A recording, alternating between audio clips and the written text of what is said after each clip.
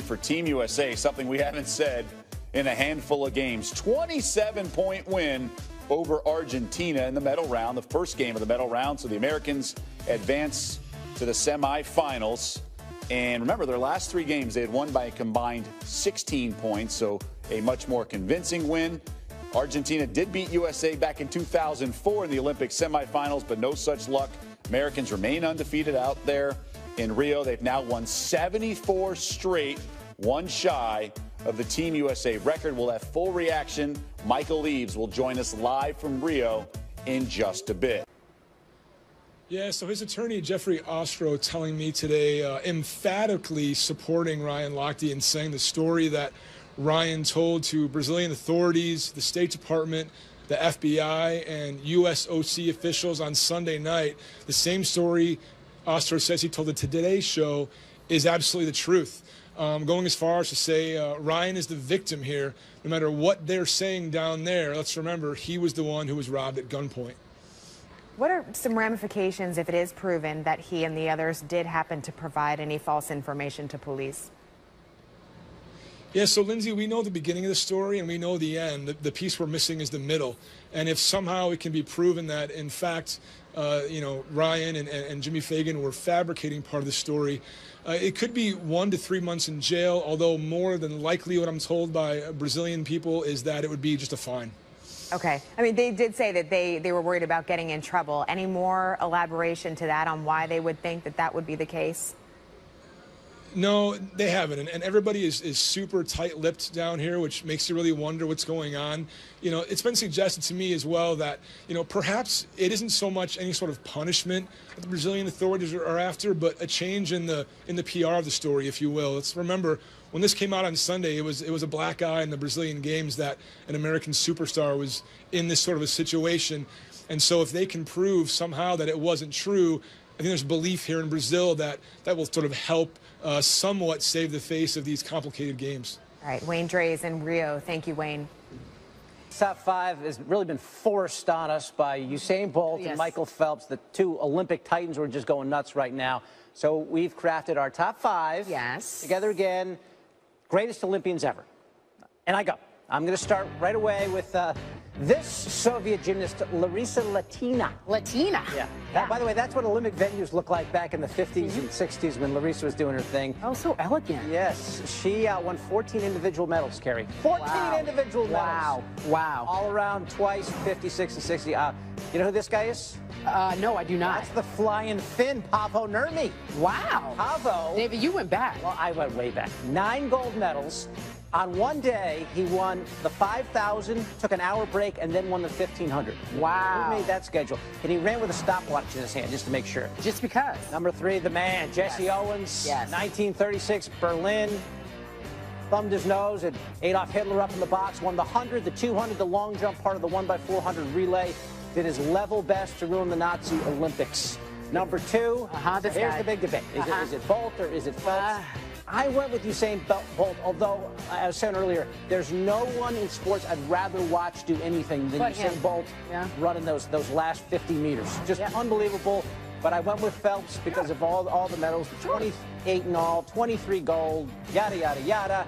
I, I just felt like this guy's still splashing around at the age of 31 he gets my nod. Yeah, and that is going to be the constant debate. Who is the better Olympian? Is it is it going to be Bolt? Is it going to be Phelps? It's it's subjective, I think. I mean, the way Bomani made a good case for it. He did. But here's my top five. I'm completely out of the loop here. Your, mine are all off. But here we go. Number five, Carl Lewis. Yep. You remember that guy? Won four golds in the 1984 Olympics right in Los Angeles. Hello. Uh, but when will LA get the Olympics again? That's another story. We'll talk about that. That's not in this top five. Uh, uh coming in at number four, Larissa Latina. Did we get it correct? Latina? yeah. You know, well, listen. Our judge will be able to give Our judge will be able to give us the right name on that for sure. Um, all right, 14 individuals, as David just said, and coming in at number three for me. So this is where we do our back and forth. I went with Michael Phelps. Like I absolutely three. agree. Phelps at three. To me, one, two, and three are all the same, and I'll tell you why. Like he's, I mean, come on. I could argue that he's a top Olympian. I mean, I really could. But number two for me was Usain Bolt. You got Bolt over. Yeah, I, Okay. I can flip and I can flop, but I'm going to go with number one for Jesse Owens because of the conditions, what he had to deal with, what he did at that time. I felt like, to me, when you are running under, you're, there's always this pressure, right, at number one, but you're running under these racist conditions, and it was hard. I couldn't even imagine what he had to deal with, but yet he pressed on and was able to get four gold medals in spite of.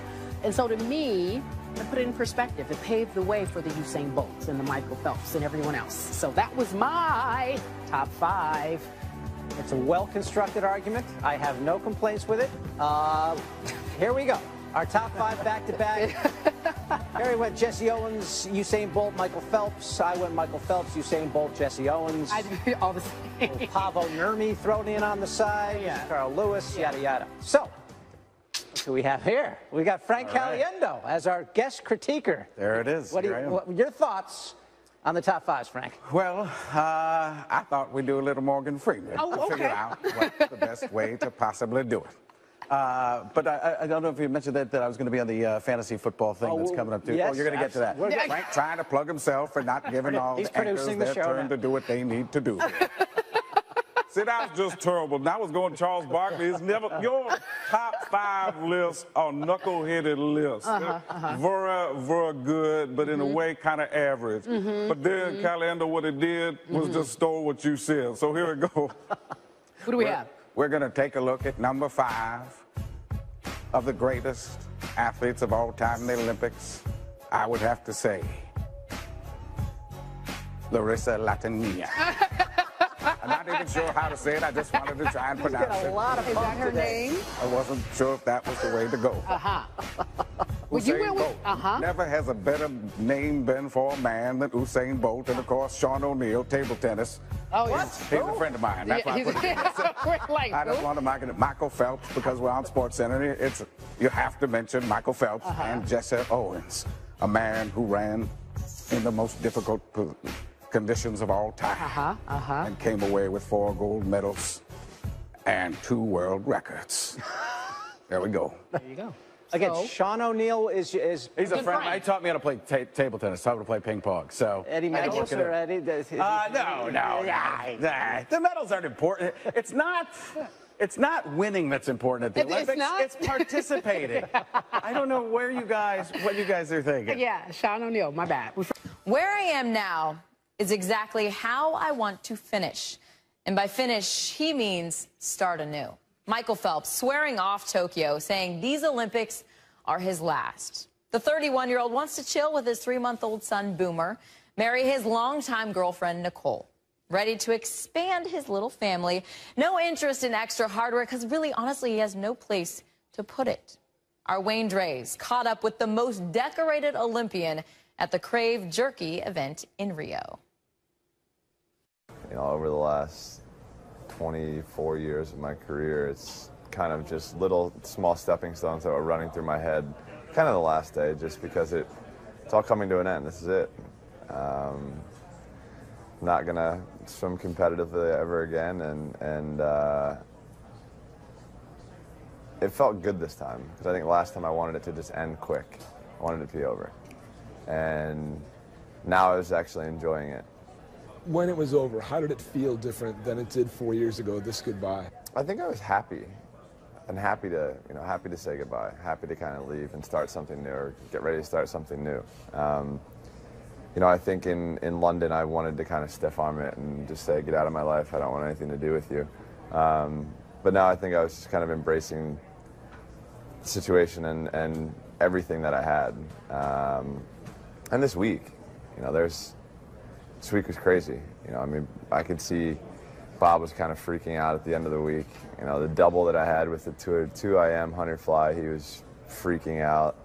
Uh, hunter fly final, obviously, he's excited, and then uh, the 400 medley relay, he was just, he was emotional the whole time. Um, so being able to share that moment, I think, is something that that was super special for the both of us because we were both finally there, uh, and both finally ready to move on. Tuesday night, you're in the ready room, semifinals of the 200 fly, and Chad starts shadowboxing. Honestly, what are you thinking? I saw it and was just like, okay, here we go. Um, I knew I knew media was going to ask about it. I, I, without question, knew it was going to get brought up. Um, and I was just kind of just I don't I wasn't going out of my way to make dirty faces, um, but I kind of figured that I was probably going to have a face, and there was somebody that was going to capture it, and somebody was going to ask about it. Um, but I also, at the same line, like the same time, just know that we all have our own little rituals that we go through, and and if that's his, that's his. Have you ever seen somebody get ready like that before? I can't. I can't say I have. No. Um, but I was just like, okay, each their own. Do what you got to do. And so that night, you get back to your uh, place in the village. Did you realize how your face had exploded on the internet? Well, I had friends who were sending me memes throughout that session afterwards, and uh, and then I got a photo of like emojis or bitmojis that are going all over the place. So it was it was kind of interesting. It's it's just I mean I guess after that it was that's when everything really started just going crazy back home. I I spoke to a friend a few days after that and he was like, dude, it's just like it was in 2008. He's like, people were going absolutely bananas. Um, and then everybody started asking me to do the Michael Phelps face. I don't even know what I was doing. While some of your roommates and teammates are out till all hours of the night doing who knows what, what were you doing after these games different than the past? Uh, I was back here with uh, Boomer and Nicole asleep as fast as I could. That's a little different than the Olympics in the past. I was out till all hours of the morning uh, before. Um, I think it was it's it's crazy with the hours that we had for swimming being so late. Um, so it was nice to just sleep as much as I could. I mean, I slept on the couch yesterday and it was just, I mean, I felt, I, I woke up and I, I didn't know where I was. Like, I was just so, I'm just beat. I'm beat physically, emotionally, everything. You've had your personal issues after an Olympics or after a major meet. Yeah. What gives you the confidence that this will be different without swimming in your life? I think the biggest change now is obviously I have a child. Um, I'm getting married this year. Uh, but also just uh, I'm just in a different place mentally, and, and, and I think that's one thing that, that I couldn't say in the past. You know, for me, I've gone through a couple bad spells in the last, you know, past two Olympics, and you know, here I'm happy outside of the pool. I'm happy inside of the pool. I have a great family life. What do you want Boomer to take away from these games? I've heard that question before, and I, I don't 100% know right now. Um, you know, for me, it was it was something special to have him here for my last swim.